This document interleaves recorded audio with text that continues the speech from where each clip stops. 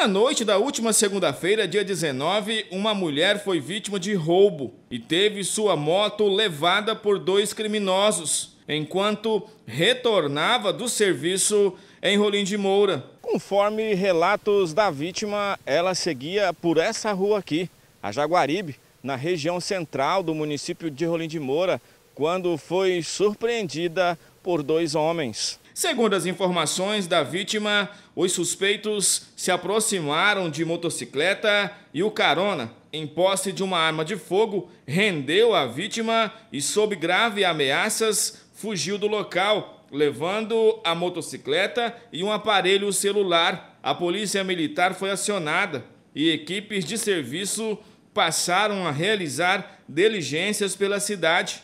No entanto, até o momento, o veículo não foi localizado.